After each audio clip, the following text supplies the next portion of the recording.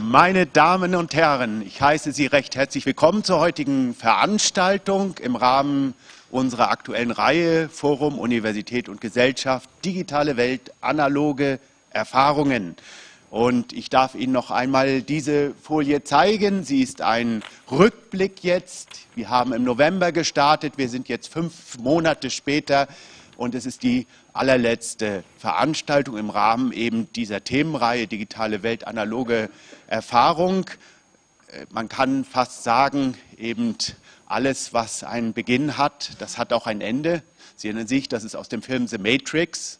Äh, und äh, das ist auch der absolute Tiefpunkt der Populärkultur, die ich heute bringen werde. Und alle nachfolgenden Redner werden natürlich um einige Etagen höher sich bewegen. Äh, wobei noch gesagt sein soll, dass dieser Spruch auch immerhin auf eine alte äh, philosophischen Diskurs zurückgeht. Insofern durchdringen sich ja Kultur, äh, Populärkultur und höhere Kultur, Bildungskultur wechselseitig. Aber das ist heute nicht unser Thema, sondern wir gehen eben auf den Einfluss von Kultur ein und das ist ja wahrhaftig noch etwas sehr Spannendes. Kultur, äh, wie äh, reagiert Kultur auf Digitalisierung und umgedreht? Was kann in der Kultur dargestellt werden mit Bezug auf Digitalisierung, auf die Herausforderungen der Digitalisierung?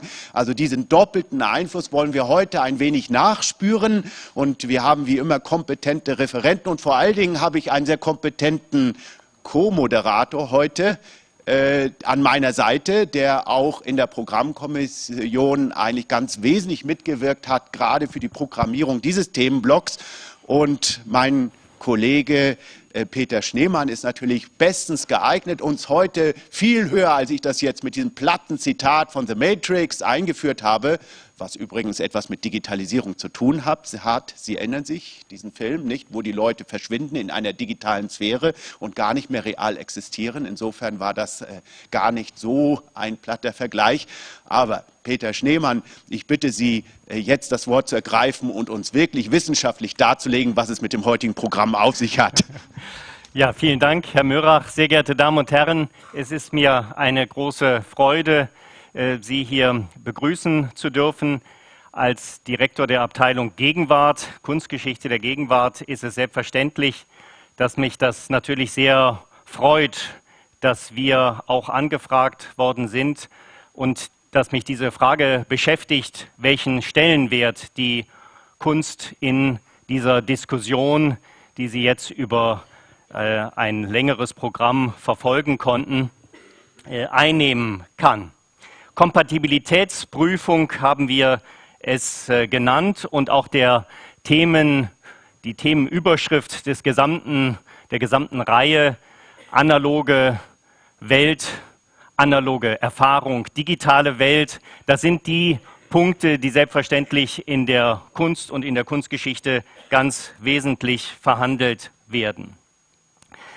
Ich möchte aber noch etwas äh, dazu sagen, dass es natürlich ausgesprochen aufschlussreich ist, dass in einer solchen Reihe, die sich mit politischen Implikationen beschäftigt, mit Digitalisierung und Bildung, Digitalisierung und Wirtschaft, Digitalisierung und Privatsphäre, ganz zum Schluss dann die Kunst aufgerufen wird.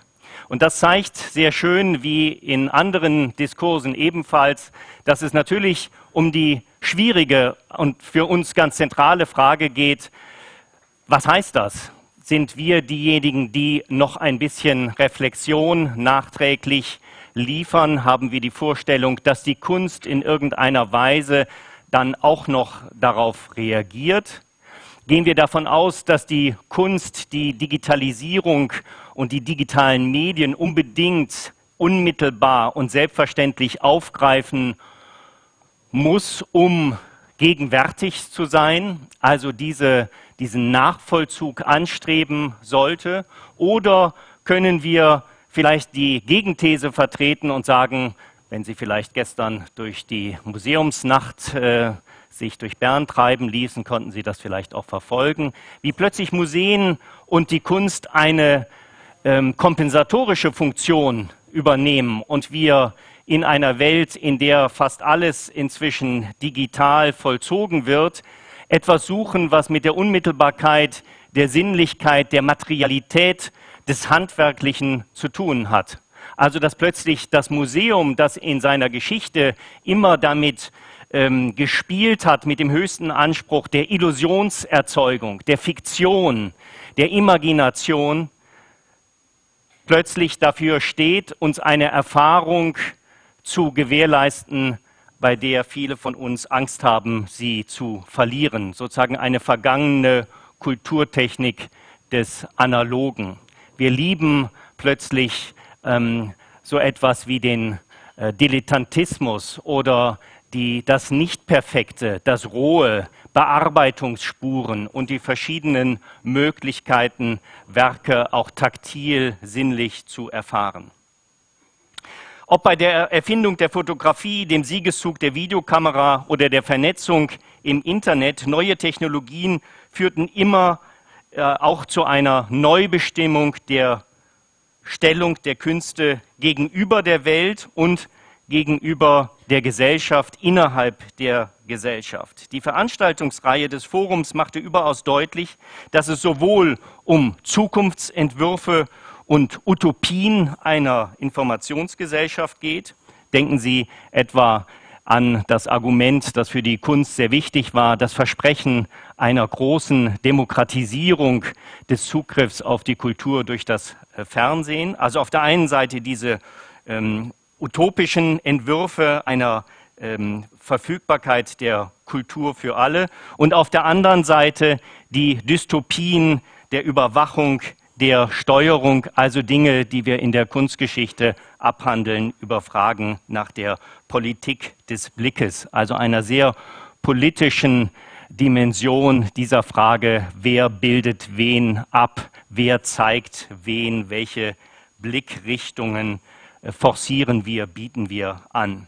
Muss also die Kunst der Gegenwart selbstverständlich die digitalen Medien nutzen, um ihre Zukunftsfähigkeit zu bewahren, oder aber versprechen wir uns diese angesprochenen kompensatorischen Fähigkeiten? Unsere Referentinnen und Referenten werden Ihnen nicht nur zeigen, wie die digitalen Medien unsere Rezeptionspraxis verändern, sondern vielleicht auch, welch entscheidenden Beitrag künstlerische Strategien zu einem kritischen Umgang mit den digitalen Medien leisten. Die Kunst hat und muss in dieser Beziehung einen ausgesprochen starken politischen, ähm, ideologiekritischen äh, Punkt einnehmen. Es geht nicht darum, dass wir eine schöne neue Ästhetik nur erleben, sondern dass wir uns positionieren in der Frage, was ähm, dies heißt. Also der verwendete Begriff der Kompatibilitätsprüfung soll nicht darüber hinwegtäuschen, dass manch konventionelle Kategorisierung, etwa analoge Erfahrung hier, digitale Sphäre dort, mit einer klaren Trennlinie in den Künsten nicht mehr gilt. Vielmehr geht es, und das ist das Spannende, um hybride Formen der Kunstproduktion, hybride Vermittlungssituationen, übersetzte Präsentationen, verschiedene Möglichkeiten der Rezeption. Es geht also um Praktiken der Übersetzung, der Simulation, der Emulation, der ständigen Angleichung und Übersetzungstätigkeit. Diese wechselseitigen Verschränkungen gelten auch für neue Wechselbezüge zwischen Kunst und Wirtschaft. Unsere momentane Vorlesung etwa in dieser Abteilung beschäftigt sich mit Asset Aesthetics, also die Frage, wie Ästhetiken der Wirtschaft in der Kunst aufgegriffen werden. Und da spielen natürlich die digitalen ähm, Medien und die Digitalisierung eine sehr wichtige Rolle. Gut, ähm, ich bin schon am Ende. Ich freue mich auf eine sehr anregende Diskussion. Wir haben Expertinnen und Experten aus ganz unterschiedlichen Bereichen, aus der Forschung, aus der Vermittlung und aus der künstlerischen Praxis für dieses Programm gewinnen können. Die äh, CVs legen aus, deswegen möchten wir da gar nicht so viel Zeit für ähm, verschwenden. Ähm, aber wir fühlen uns ausgesprochen geehrt, dass diese Einladung von uns auf so ein wohlwollendes Interesse ähm, gestoßen ist. Die erste Referentin die angefragt wurde und direkt zugesagt hatte, war Frau Himmelbach vom Haus der digitalen Künste in Basel und sie hat uns dann äh, aus privaten Gründen leider absagen müssen. Und ich freue mich sehr, dass Frau Dr. Mader, die die Forschung in Luzern, in der Hochschule Luzern maßgeblich prägt, ähm, sehr spontan und direkt ähm, zugesagt hat. Und sie interessiert sich in ihren Forschungen mit den Fragen für die Fragen der Selbstorganisation der Künste, der Beziehung zwischen Institution und Kunstproduktion und unserer Rahmung der Rezeption der Kunst durch diese Institution. Bitte begrüßen Sie Frau Dr. Mader.